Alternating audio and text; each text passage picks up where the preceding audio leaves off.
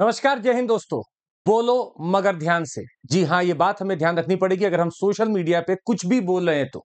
हमारे ऊपर बहुत लोगों की नज़र है और अगर मेरे मेरे मिलियंस ऑफ़ सब्सक्राइबर्स हैं और मिलियंस ऑफ़ लाइक्स मुझे जल्दी मिल जाते हैं तो मुझे बहुत सोच समझ कर बोलना चाहिए।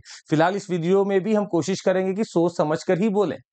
क्योंकि समन लेटर या फिर बुलावा भेजा गया है, मानहानि का दावा ठोका गया है ध्रुव राठी के ऊपर, जो कि बहुत बड़े यूट्यूबर हैं या इन्फ्लुएंसर हैं या इनकी वीडियोस बहुत बढ़िया चलती हैं। इनके ऊपर मानहानि का दावा ठोका गया। अब आप पूछेंगे कि ऐसा क्यों हो गया? भाई, पिछले कुछ दिनों से अगर आप इनकी कोई वीडियोस देखे हो या देखने की कोशिश करेंगे तो ये किसी को जवाब दे रहे थे। एलविश यादव को जवाब दे रहे थे। हालाँकि वहाँ जवाब देते देते ये इतना इधर उधर चले गए कि शायद कुछ लोगों को पसंद नहीं आया और उन्होंने अपने ऊपर उसको लगाते हुए कि ये मुझे ही बोल रहे हैं, मुझे ही अपमान कर रहे हैं, मेरा ही अपमान कर रहे हैं, इन्होंने केस कर दिया। केस दिल्ली कोर्ट पहुँचता है और दिल्ली कोर्ट के एक जज ने इनको बुलावा भेजा है, समन भेजा है। आइए समझते हैं कि मुद्दा है क्या। मुद्दा यह है कि बीजेपी के एक नेता है सुरेश करमशी करमशी नकुआ जिन्होंने मानहानि का दावा ठोका और दिल्ली की एक अदालत में इन्होंने अपनी अर्जी रखी जिसपे दिल्ली कोर्ट ने अंतरिम आदेश देते हुए बोला कि ठीक है यूट्यूबर ध्रुव राठी को समन जारी किया जाए और उनको पेश करने के लिए बोला जाए। ये बात हो इसलिए रही है क्योंकि उनका एक रिप्लाई भरा वीडियो जाता है, जिस वीडियो में उन्होंने सिर्फ़ एल्फी यादव नहीं, बहुत लोगों को कवर करने की कोशिश की, जिसके मद्देनजर इनको लगा कि इनके ऊपर भी गलत टिप्पणी की गई है और इनका अपमान हुआ है, मानहानि हुई है। समझते इस बात को।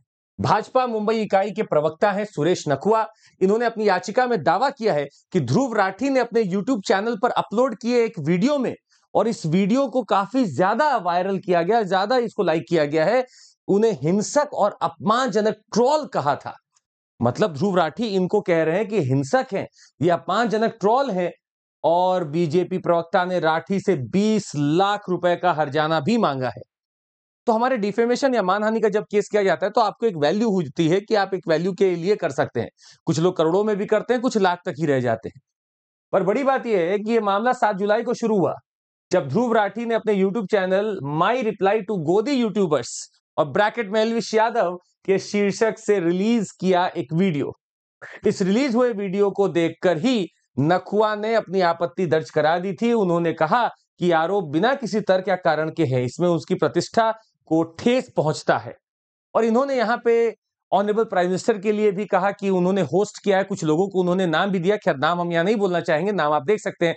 न्यूज़ आ ही जाएगी। पर कहा कि उनको होस्ट किया है और ये ध्रुव राठी जी के हिसाब से गलत था। खैर अपमानजनक बातें हो या ना हो, पर फ़िलहाल तो समझ जा चुका है। अब इनको कोर्ट में बताना पड़ेगा। ये अपमानजनक था, न्यूट्रल था, सम्मानजनक था, ये देखना होगा। पर हाँ एक बात तो तय है कि यूट्यूब पे बोलिए, पर संभल के बोलिए। खैर, हम आपको बता दें कि भारतीय दंड संहिता या जो अब ये चेंज हो चुकी है, पर आज तक हम लोग जितना पढ़ते आ रहे हैं 1860 के लॉज में दो सेक्शन बड़े इंपॉर्टेंट है। सेक्शन 499 और सेक्शन 500 499 500 जब हम पढ़ते तो हमें मिलता है, धारा 499 में अपवादों का भी उल्लेख है। इनमें सत्य का आरोपण शामिल है, जो सार्वजनिक भलाई के लिए आवश्यक है। और इसलिए इसे सरकारी अधिकारियों के सार्वजनिक आचरण, किसी भी सार्वजनिक प्रश्न से संबंधित किसी भी व्यक्ति का आचरण और सार्वजनिक प्रदर्शन की खूबियों पर प्रकाशित किया जाना चाहिए। तो चार सौ निन्यानवे और पाँच है। चार सौ निन्यानवे में आपको परिभाषा दी गई है तथा धारा 500 में आपराधिक मानहानि के लिए सजा दी गई है, जो कि दो साल तक की कैद हो सकती है। और मेरी मानहानि भी दो तरीके की होती है, एक सिविल है और एक आपराधिक है। दोनों में फ़र्क क्या है कि सिविल में हो सकता है कि आपके ऊपर एक केस चला जाएगा और आप एक फाइन देकर छूट जाएँगे, पर आपराधिक में यहाँ पर दंड दिया जाता है, जेल टर्म भी दिया जाता है। पर हम इतना आगे जा क्यों रहे हैं? इतनी बड़ी और इतनी ऐसी कोई वीडियो भी नहीं थी। हालाँकि जब इल्ज़ाम लगा है, मानहानि का 20 लाख का ही दावा किया गया है और ध्रुव राठी अब अपने जवाब में कुछ तो कहने आएँगे ही आएँगे। पर फ़िलहाल एक बात तो तय है कि अगर आप कहीं पे भी बोलते हैं तो अपनी चीज़ों को बड़ी संभल के रखना चाहिए।